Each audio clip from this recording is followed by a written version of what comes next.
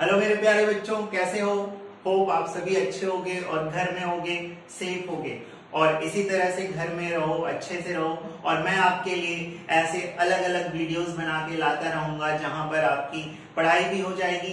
Amazing fact से आपका general knowledge भी बूस्ट होगा और कैलकुलेशन बूस्टर से जी हाँ कैलकुलेशन भी बूस्ट होगा। सो so, आज के इस वीडियो में हम देखेंगे कि अपने कैलकुलेशन को बूस्ट करने के लिए क्यूब रूट कैसे निकालें। क्यूब रूट कभी भी क्यूब रूट आ जाता है तो हम हड़बड़ा जाते हैं और बहुत ही वहाँ पर क्वेश्चंस भी गलत हो जाते हैं या फिर हम फाइंड ही करना छोड़ देते क्योंकि हम बना ही नहीं पाते, हमें पता ही नहीं होता। अगर आप इसके पहले वाले वीडियो को देखे होंगे स्क्वायर रूट निकालने का तरीका तो अगर आप वो चार सेकंड या तीन सेकंड में निकालते होंगे तो इसे आप सिर्फ़ देख कर निकालेंगे, जी हाँ देख कर निकालेंगे, ये मेरी गारंटी है। ये स्क्वायर रूट से भी बहुत इजी है। यहाँ पर तो आपको कोई ऑप्शन भी नहीं रहेगा कि दो में से एक चूज़ करना है। यहाँ पर सीधा और सीधा आपको डायरेक्ट आंसर मिलेगा। बहुत सारे वीडियो कैलकुलेशन बूस्टर के मैं बना चुका हूँ। सो so, वो सारे स्टूडेंट जो नहीं देखे हैं वो सारे वीडियो मैं डिस्क्रिप्शन बॉक्स में सबके लिंक प्रोवाइड कर दूँगा। सो so, आप जाकर के वहाँ देखें वीडियो और अपने कैलकुलेशन को बूस्ट करें। चलिए इसको देखते हैं फटाफट कैसे हम फाइंड कर सकते हैं।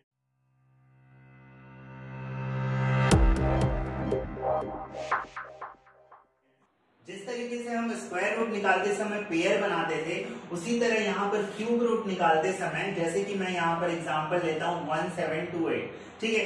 तो यहाँ पर हमें तीन का पेयर बनाना है तो मैंने तीन का पेयर बना दिया उसके बाद हम क्या करते थे? स्क्वायर रूट में हम यूनिट डिजिट चेक करते थे यहाँ भी यूनिट डिजिट चेक करेंगे। सो यहाँ पर यूनिट डिजिट क्या है? एट और एट किसके क्यूब के आखिरी में आता है? किसके क्यूब का यूनिट डिजिट एट है? सो टू का है. सो टू हमने यहाँ पर लिख दिया। टू उसके बाद हम बचे हुए नंबर को चेक करते थे। सो so, बचा हुआ नंबर कौन है? वन है। सो so, वन कहाँ लाई कर रहा है? वन और एट यहाँ पर वन आ रहा है सो वन को एज इट इज़ लिखते हैं सो ये हो गया ट्वेल्व का क्यूब ट्वेल्व का cube one seven two eight okay एक और अगर हम एग्ज़ाम्पल लें फोर नाइन वन थ्री अभी इसका क्यूब करना है सो so, इसका क्यूब हम कैसे करेंगे सिमिलर हमें तीन का पेयर बनाना है सो थ्री पेयर आ गया. अब थ्री किसके आखिरी में थ्री आता है? किसका क्यूब करने पे आखिरी में थ्री आता है? सेवन का. सो so हम यहाँ पर सेवन लिख दिए ठीक है? उसके बाद यहाँ क्या है? फोर है। अब फोर देखो कहाँ लाई कर रहा है? तो फोर यहाँ लाई कर रहा है। वन और एट के बीच में। हम कौन सा नंबर लेते थे? हमेशा कौन सा नंबर लेते थे? छोटा वाला। सो इससे छोटा कौन है? वन सो यहाँ पर हमने क्या लिख दिया? वन तो ये हो गया सेवनटीन का। देखो कितना फास्ट हो रहा है। ठीक है? अब आपका एक टेंशन होगा कि हमें तो अगर क्यूब नहीं याद है तो हम ये यूनिट डिजिट कैसे लें? सो so, इसका भी सॉल्यूशन है मेरे पास। ये तो बहुत ही इजी है कि टू का यूनिट डिजिट हमेशा एट रहेगा।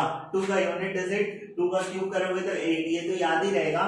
तो एट का टू रहेगा। देखो एट का क्यूब करे तो पाँच सौ बारह ठीक है? उसी तरह थ्री का करोगे तो ट्वेंटी सेवन सेवन आएगा आखिरी में यूनिट डिजिट और सेवन का करोगे तो थ्री आएगा।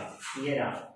ठीक है? ये चार नंबर को छोड़ करके, दो का आठ आठ का दो, तीन का सात सात का तीन। बाकी सारे नंबर, उनका यूनिट डिजिट सेम रहेगा। उनका यूनिट डिजिट सेम रहेगा। देख लो, पाँच का पाँच छ का छ आठ हो गया, नौ का नौ और ज़ीरो का ज़ीरो। देखो, वन का वन, फोर का सिक्सटी फोर, फाइव का वन ट्वेंटी फाइव, आखिरी में पाँच है। सिक्स का आखिरी में सिक्स है नाइन का आखिरी में नाइन है ज़ीरो का ज़ीरो है। सो so, आपको बस ये दोनों याद रखना बाकी तो आप आँख बंद करके देखो फटाफट एग्ज़ाम्पल देखो।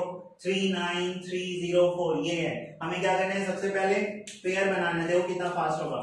ठीक है? सबसे पहले हमें पेयर बनाना है। सो मैंने पेयर बना दिया। फोर फोर किसके आखिरी में आता है? फोर ही आता है। थर्टी नाइन थर्टी नाइन किसके बीच में आता है आपका?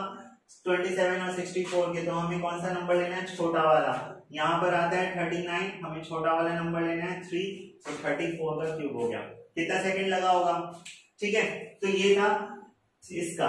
एक और एग्जांपल लेते हैं two zero five three seven nine okay two zero five three seven nine देखो तीन का पेयर बना लिए थ्री सेवन नाइन नाइन है तो नाइन के आखिरी में तो नाइन ही आता है। बचा two zero five two zero five कहाँ पे आता है? देखो, इनके बीच में, इन दोनों के बीच में। हमें छोटा वाला नंबर लेना है तो फाइव फिफ्टी नाइन हो गया? एक और अच्छे से समझा देता हूँ। Last four three eight nine seven six ठीक है? आराम से समझा देता हूँ। जिनको ये नहीं समझ आया सबसे पहले हमें तीन का पेयर बनाना है तो तीन का पेयर मैंने बना दिया। उसके बाद यूनिट डिजिट चेक करना है सिक्स तो मैंने बताया सिक्स का तो सिक्स ही होता है। सिक्स लिख दिया। उसके बाद बचा हुआ नंबर है 438 हमें 438 चेक करना है किन के बीच में आ रहा है। सो इन दोनों के बीच में आता है 438 सो हमें कितना कौन सा लेना है? छोटा वाला नंबर लेना है, क्योंकि बड़े वाले नंबर में चले जाएँगे तो बड़ा आ जाएगा हमारा, ठीक है? सो छोटा वाला नंबर ले लो छोटा वाला कौन सा है? सेवन एस तो ये हो गया सेवेंटी सिक्स का क्यूब सो so, देखो कितनी आसानी से हम क्यूब निकाल सकते हैं। अगर ये मेथड हमें पहले रहता तो ना जाने हम कितने सारे प्रॉब्लम को इजीली सॉल्व कर सकते थे।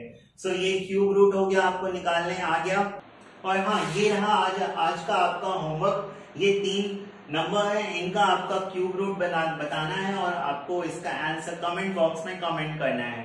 और साथ ही साथ यहाँ मैंने इंस्टाग्राम और टेलीग्राम की आईडी दे रखा है। अगर आप चाहते हो तो वहाँ भी आप हमें कमेंट कर सकते हो आप हमें फॉलो कर सकते हो।